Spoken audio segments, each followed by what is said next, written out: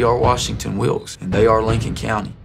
This rivalry games each year, it just goes on and on and on. There is the day of the war, and then there's the other 364 days you prepare for the war. The entire community will be here for this game. Everybody from the old to the young. It's a grudge game. The two communities love to talk trash. May the best team win, which is the Red Devils, of course. Get ready, we're coming.